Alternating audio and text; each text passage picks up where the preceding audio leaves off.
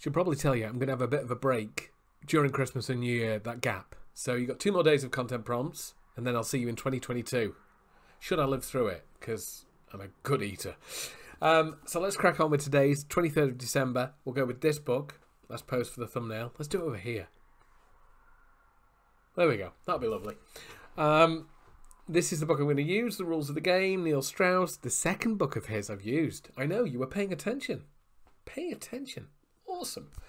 So I've gone back to using a book. I've run out of things that aren't books with words on them for comedy value. So let's just go back to the books just for now. It's Christmas. Not that those two things are linked.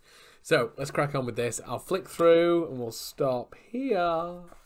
Here. I think my voice broke halfway through that.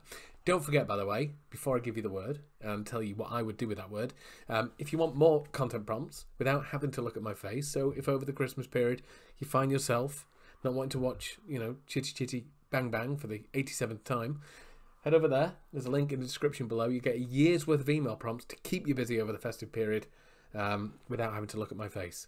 It's an email doc called A Year's Worth of Emails because I'm very bad at naming things. So we're here. Let's open the book. This is day 30. Not that you have any idea what that means. Let's go here. So we're looking for the nearest interesting words, no ifs, ands, or buts. Then I'll see what I would do with this word. So we've got hook. Now, hook is quite an interesting word. There you go. Oh, terrible focus. Terrible. So hook's quite an interesting word. So for me as a copywriter, that's an easy one because a hook is something that kind of people use to draw people in to hear about an offer. It's an interesting turn. It's a it's a weird angle. But I think anybody can use the idea of hook. Talk about their stuff. Now this isn't strictly copywriting. Hook is, is something a bit more specific than just a weird angle. But that's what a hook is, a weird angle. So let's go with that. Let's be a bit flexible with this. What is a weird way of looking at what you do? What is a weird way of looking at what you do? Now, I've done this before in like some of my other products. I've talked about the idea that you can have a bit of fun with job titles and things like that.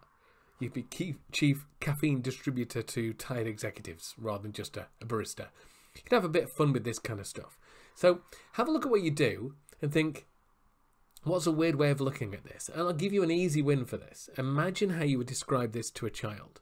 Oh, imagine an alien comes down, looks at what you do and goes, all right, that, that person wakes people up at five o'clock in the morning, strips them down to barely little clothing, and shouts at them for an hour, and that person then pays them.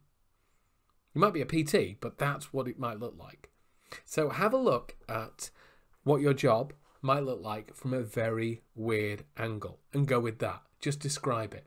You could use it as an opening to an email. That would be a great opening. You won't believe I get paid to strip people down to their underwear and shout at them, but that's what I do. So have a look at that. Have a think about, it's not strictly speaking a hook, but just think of a weird take on what you do. How would it look to an alien or a child or somebody who has no concept of what you do? What do you really do for people? That would make for a, either a great opening or if you could expand on it, if you've got a decent amount of material, that could be an entire social post. It could be a way to ask people, what is it, what you do? What, what do you do for other people as well? Get them to interact on your uh, social post as well. But that's what I do with this. I'll give you three seconds to have a think. Um, if you like the video and you want more content prompts, not over Christmas, but in 2022, don't forget to like, share, and separate your whites. More content prompts there. Go there, download my lead magnet, my client generating lead magnet. Uh, there's a link in the description below. And that is it. Um, I will see you tomorrow, 24th of December, Christmas Eve, for the last one of 2021. Uh, got any questions or any words you want to feature in the show? Feel free to comment them down below. But that's it. Bye!